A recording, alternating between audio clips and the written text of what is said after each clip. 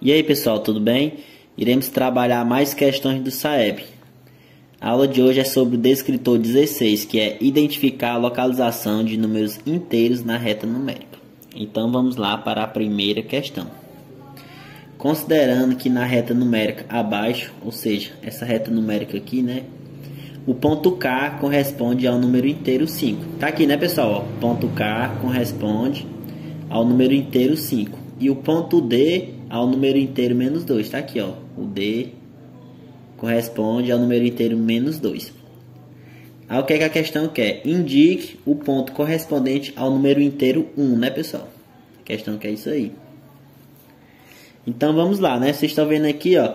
O ponto D é o menos 2 e o K é 5, né? A gente tem que preencher, pessoal, esses campos aqui, ó, que estão faltando, ó, nesses pontos para a gente saber onde vai estar localizado o número 1, né? Em qual letra vai estar localizado. Então vamos lá, vamos começar a preencher, né, pessoal? Como aqui tem o menos 2, é só vamos colocar menos 1. E aqui fica o 0. Aqui o 1. Aqui o 2. Aqui o 3. E aqui o 4.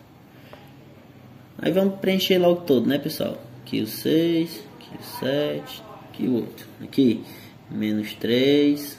Menos 4. E menos 5. Aí a questão pergunta qual é o ponto correspondente ao número 1. Qual é, pessoal? Aqui, ó. É o ponto G, né, ó. O ponto G corresponde ao número 1. Bem fácil, né, essa questão. Então, a alternativa correta é a alternativa B. Ponto G. Bem simples. Pronto, pessoal. Vamos lá para a segunda questão. Observe a reta a seguir, ou seja, essa reta aqui, né? Na qual as letras representam números inteiros. Dada a sequência 3, 4, menos 2, menos 4, assinale a sequência de letras correspondente, né, pessoal? A esses números. Aí a gente está vendo a reta numérica, né, pessoal, que tem essas letras, ó, o H, o G, o F o E, né? Aí tem aqui o número 0, número 1, aí tem aqui as letras A, B, C e D. Então, pessoal, é só a gente preencher a reta numérica, né? Aqui é o 0, aqui é 1. Um. Depois vai, vem quem? Vem o 2. Aqui. 3. 4 e o 5. Aqui é o 0, né, pessoal? Então vai ser quem? Menos 1, um, né? Aqui, menos 2. Menos 3. Menos 4. Pronto. Qual é o ponto que corresponde ao número 3? Quem é, pessoal?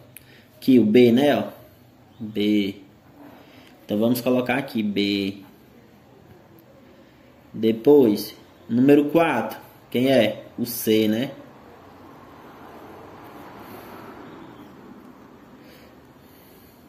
Depois, o menos 2. Menos 2 é quem? O F, né?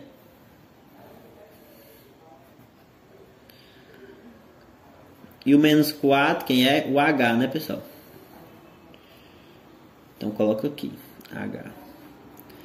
Logo, a sequência de letras correspondente aos números 3, 4, menos 2, menos 4 é alternativa B, né, pessoal? Que é B, C, F, H. Bem simples, né, essas questões? Pronto, vamos lá para a terceira questão. Num dia muito frio, em Porto Alegre, a temperatura foi de 5 graus. À noite, a temperatura diminuiu 7 graus Presta atenção, pessoal. A temperatura estava 5 graus, quando foi à noite diminuiu, ó, 7 graus. Em que ponto da reta numérica se encontra a temperatura atingida? Pronto, pessoal. O que, é que a gente tem que fazer? Como a temperatura era 5 e depois diminuiu 7, a gente vai ter que subtrair, né? 5 menos 7, né? Bem fácil, né? Vai ficar quanto?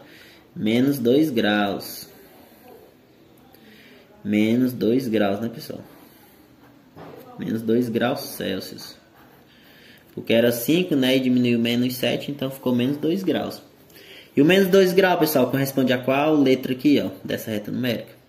A letra B, né? Vocês estão vendo aqui, ó, né? Ó. Letra B corresponde a menos 2. Então, essa é a nossa resposta.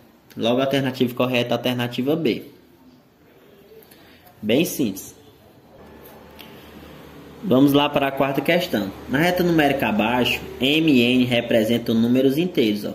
M e N representam números, C, números inteiros. E tem aqui, ó, o número 0 e o 2. Aí vem a pergunta: os números correspondentes a M e N são, respectivamente, alternativa A, menos 3 e 4, B, menos 3 e 6, alternativa C, menos 6 e 4, alternativa D, menos 6 e 6. Pronto, pessoal, para resolver essa questão, primeiramente temos que observar aqui, né, ó. Tá aqui o, o ponto zero, né, ó. Depois do zero vai para quanto? vai para o 2, né, pessoal? Então tá indo de 2 em 2, né? Então 0, 2, aqui vai ser quem? Vai ser o 4, né? Porque tá indo de 2 em 2. Depois 6, depois 8 e aqui 10. Como aqui é 0, aqui também vai pular duas casas, né? Vai ficar menos 2, né?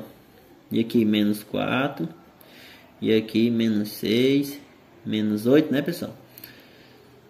Bem simples, né? Só observar. Que, que é o 0, daqui é o 2. Aí tá de 2 em 2.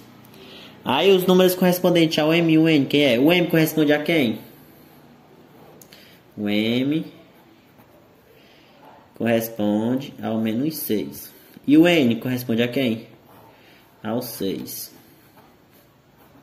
Logo, os números correspondentes a M e N são, respectivamente, alternativa D, né, pessoal? Menos 6 e 6. Bem fácil essas questões. É isso, pessoal. Deixe seu like e se inscreva no canal. Valeu!